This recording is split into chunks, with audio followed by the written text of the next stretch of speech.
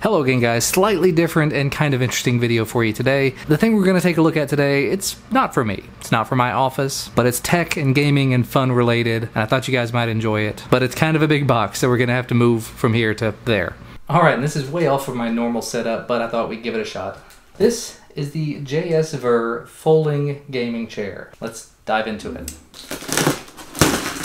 Now this chair retails on Amazon for $89.99. It looks like the actual retail price is higher than that, but that's the price that it has historically been. There could be sales, there could be coupons, be on the lookout. If I have any, I'll put them down below. There shouldn't be much in terms of unboxing though.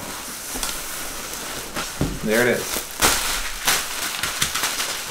And that's about all there was to it. So inside of the package here we get this little info about JSVer itself, a little set of instructions for how to use the chair. As you can see here, it does have 14 positions available from being flat on the ground like this to being fully upright. Here's your steps to adjust though. Bring the fully upholstered back, this part fully forward, and then push it back fully down and then raise it to the desired angle. Sounds confusing, but we'll give it a shot. So I should be able to just grab this and lift it up.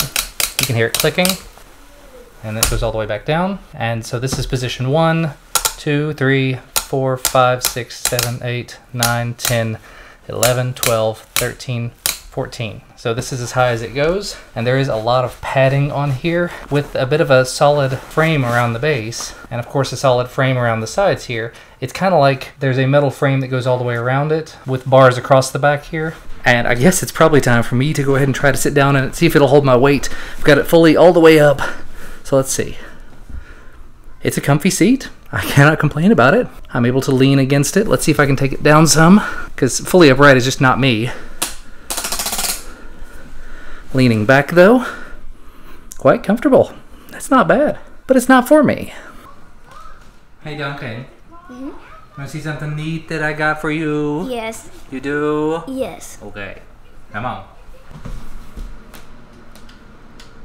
What is that? What do you think it is? What does it look like? I have no idea. You have no idea. What could it be? A chair? It does kind of look like a chair, doesn't it? Yeah. You think it might be a chair? Yeah. You want to try it as a chair? Sure. Go for it. It's wet. It's wet. Feels a little wet. It's not wet. Is it comfortable? Not that much. Does it need to be adjusted? Ah, yes. Okay, well it is adjustable. So sit up. Does it need to go up or down? Probably. Yeah. Ah. Is that pretty decent? Is that a comfy gaming chair? Is that a pretty cool gaming chair?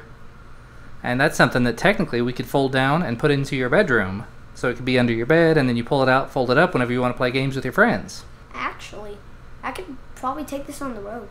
You might be able to, I don't know. It depends on the car you put it in. So is that a pretty cool thing? Yes. Awesome. And I guess there you have it. Eight year old approved. Luckily, it is adjustable, it does fold flat, so technically, when he's not playing with it, we can just lay it down and push it under his bed. And then when he's ready to pull it out and play games with his friends or play games in his room by himself or whatever, fold it up into whatever position he wants.